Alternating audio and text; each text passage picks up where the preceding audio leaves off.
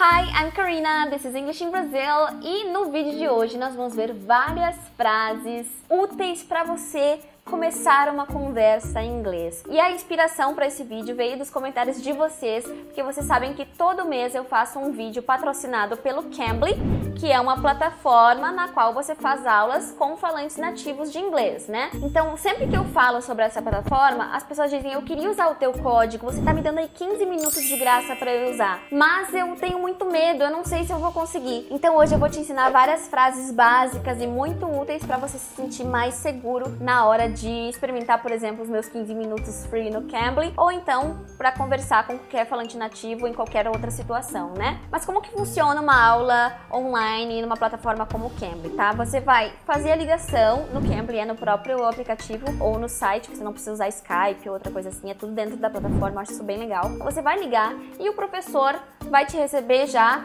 com um Hi, how are you? Oi, como vai? E aí você pode responder com o clássico I'm fine, thanks. What about you? Eu tô bem, e você, né? Ou então I'm good, and you? E aí o professor vai responder alguma coisa, vai dizer que tá bem também, e provavelmente ele vai perguntar What's your name? E aí você vai falar I'm Karina. Pronto. Ou My name is Karina. Ele pode te perguntar também Who are you? Quem é você? Aí você vai dizer a mesma coisa. I'm Karina ou ah, My name is Karina. Então, tudo começa com uma small talk, que é aquela conversinha assim introdutória e que é bastante comum na vida real, inclusive, né? Quando você conhece alguém. Talvez eles te perguntem sobre o tempo também. Is it hot or cold there? Por exemplo. Tá frio ou quente aí? Aí tu vai falar, hmm, it's hot. Yeah, it's very hot here. Ou what's the weather like there? Como que tá o clima aí? Ou ainda, what kind of weather do you have? Que tipo de clima tá aí, né? Então, weather, se a pessoa falar weather, você já sabe que é clima, daí você vai responder it's hot, it's cold, it's sunny, it's cloudy, whatever you want to say. Talvez para puxar assunto nesse primeiro momento, o professor também te pergunte sobre a sua família. So, tell me about your family. Do you have any brothers and sisters? Me fale sobre essa família. Tem irmãs, irmãos, brothers, sisters. Então você já vai dizer, oh, I don't have any brothers and sisters. Ou I have a sister. Her name is Jaqueline. Oh, really? What does she do? Ah, she's a teacher too. Então você fala um pouco sobre sua sister, né? Eu conversei com alguns professores antes de fazer esse vídeo e eles falaram que para puxar assunto, às vezes eles perguntam também: Are you a student at school? Se você tiver cara de novinho, talvez eles te perguntem isso. Você tá estudando no colégio? E você fala: Yes, yes, I'm uh, in high school, for example. Tô no ensino médio. What's your favorite class? Oh, my favorite class is English.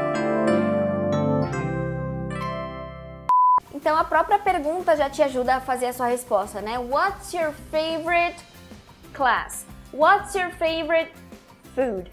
My favorite class is English.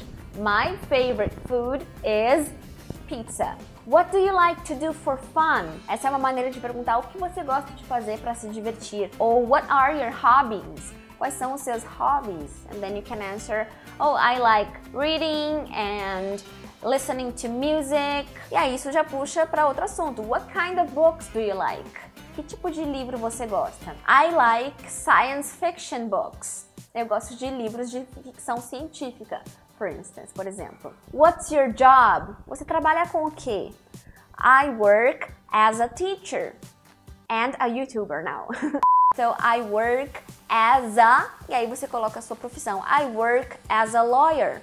Eu trabalho como advogado. Ou I'm a lawyer. É um jeito mais fácil de responder ainda, né? I'm a lawyer. Ou I work as a lawyer. Significam a mesma coisa. Talvez o professor te pergunte: Why do you want to learn English? Por que você quer aprender inglês? I want to learn English because I want to be able to understand the movies that I like. Eu quero aprender inglês para poder entender os filmes que eu gosto. Ou I'm studying English because I want to live abroad. Eu estou estudando inglês porque eu quero morar fora. And then you decide what you want to say, right? Could you speak slowly? Você poderia falar mais devagar? Essa frase é muito útil, né? Porque tem gente que começa a falar blá blá, parece uma matraca. Aí você fala, Could you speak slowly, please? Né? Você poderia falar mais devagar? Could you repeat that? Você poderia repetir? Could you repeat that? Can you type that for me?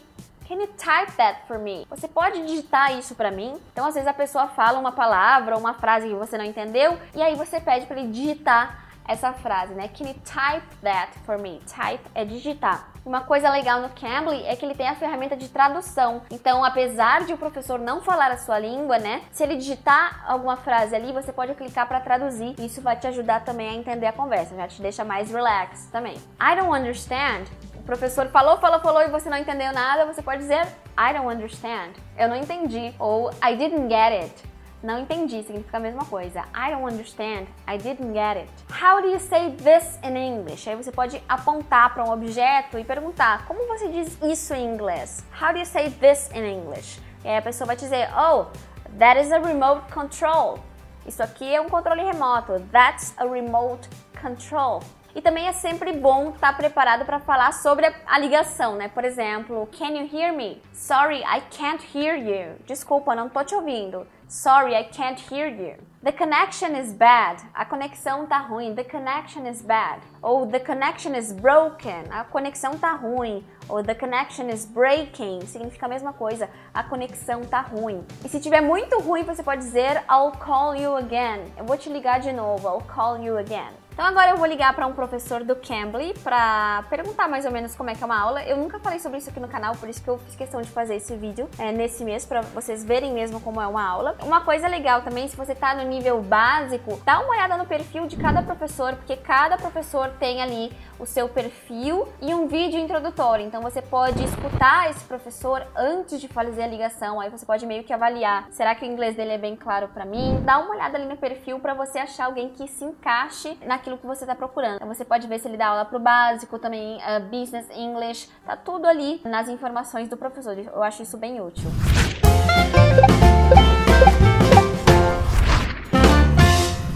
Hi Emily, welcome to English in Brazil. Could you describe a typical class on Cambly? A typical class starts out with a greeting with the student where we say hello, like Karina and I just did. And then we might do a bit of small talk. Mm-hmm. And then there's two types of classes mm-hmm. that I usually do. One is a conversational class mm-hmm. where a student and I will just practice conversing about any topic in English. Um, I talk a lot about food and a lot about mm-hmm. traveling. And then there are Cambly mm-hmm. lesson plans where a student might have a particular lesson about a grammar topic or vocabulary. And that will often include a mock dialogue, extra vocabulary words, and then some discussion questions at the end. So the second type of lesson is a bit more structured than the 1st mm-hmm. But does the student choose the type of lesson they want to have? I typically ask students if they have any particular thing that they would like to practice, any particular topic. And some students come prepared with a lesson mm-hmm. plan already in place, others don't. And either way, mm-hmm. we can have a free flowing conversation, or if I feel that a lesson plan would be really helpful for a student, I might offer that. Okay, nice. What would you say to those students who are kind of afraid of having a class on Cambly or they feel scared, they don't know what to say? Do you have any suggestion? I imagine that that's a very common feeling on Cambly. It can be intimidating to call a tutor and speak in your second language. So I would First of all, remember that all tutors are here because they love teaching. They're friendly people who are excited to get to know you. And if there's anything in particular that you'd like to go over with your tutor, but you're worried about your English, maybe you really like books, you really like a particular movie, try researching that book, that movie, or any subject that you have in mind in English. Get a little bit of a vocabulary about it so that you feel more comfortable being able to express that with your tutor. If a student is having a hard time speaking and expressing themselves, sometimes if the student feels really, really shy or scared, I'll have them like take a deep breath, remind them to relax. Whew, yes, a little bit of zen. And then I try to get the mm-hmm. student to laugh. I try to say something funny to remind them that we're here to have a good time, to have fun while we're learning, and English shouldn't be something that's scary, and that mistakes are actually a really great learning tool. You learn through making mistakes, through correcting your mistakes. Well, thank you so much, Emily. You are amazing. I feel like represented by you because I've been there before as a teacher. Some students just they simply freak out. They say, I can't, I can't. And then you have to make them feel comfortable and try to start it over again. So uh, I can totally relate to what you're saying. So thank you very much. Thank, thank you, you very Karina. much. You sound like a great teacher too. I'm sure you inspire a lot of students. Oh, thank you so much. Bye. Bye-bye. Have Bye. a nice day.